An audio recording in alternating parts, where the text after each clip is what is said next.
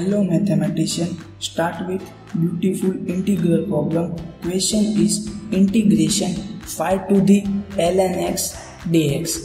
Let me derive one logarithmic property.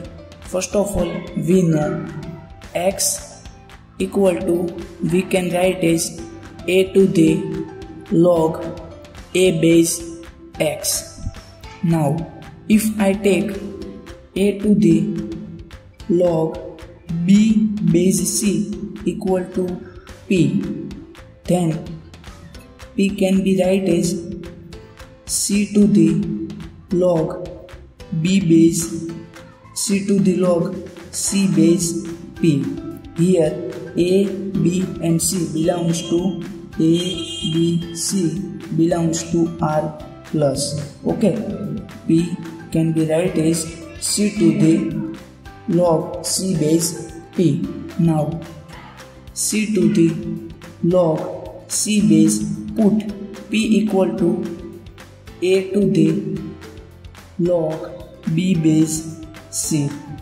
It is c to the log c base a to the log b base c. Now log b base c come forward so c to the log b base c multiply log c base a easy now it is right as c to the log c base a multiply log b base c I just interchange the term easy now c to the log b base c and this term come power.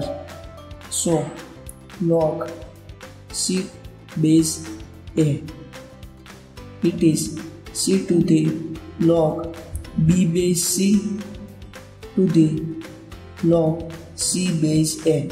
As we know c to the log c base a equal to a.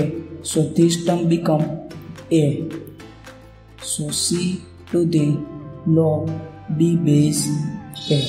So we can write as a to the log b base c equal to c to the log b base a. So the rule is a and c can be swapped. Now look at the question.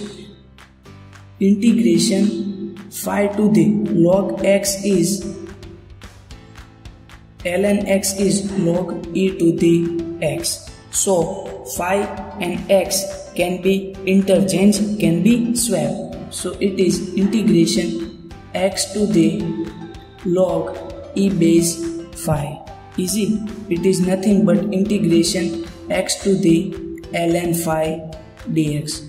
So it is a rule like integration x to the n dx.